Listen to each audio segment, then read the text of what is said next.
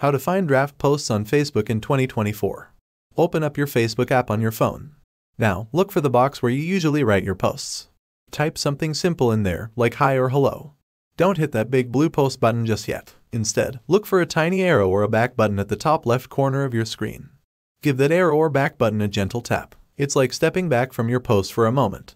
A little menu will pop up. Among the options, you'll find one that says Save as Draft.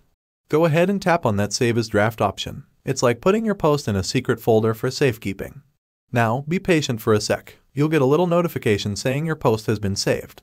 Tap on that notification. It's like getting a message saying, hey, your draft is safe and sound. You'll see a list of all your draft posts from the past three days. Scroll through until you find the one you're looking for.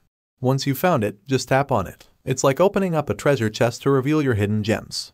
Now you can edit your draft post however you like. Fix typos, add emojis, whatever you fancy. When you're done sprucing up your post, you've got two options. You can either share it with the world or save as draft again to keep working on it later. And just like that, mission accomplished. You've successfully uncovered and managed your draft posts on Facebook in 2024. If you found this video helpful, drop us a comment below. Don't forget to explore our other content for more tips and tricks. Until next time, happy posting!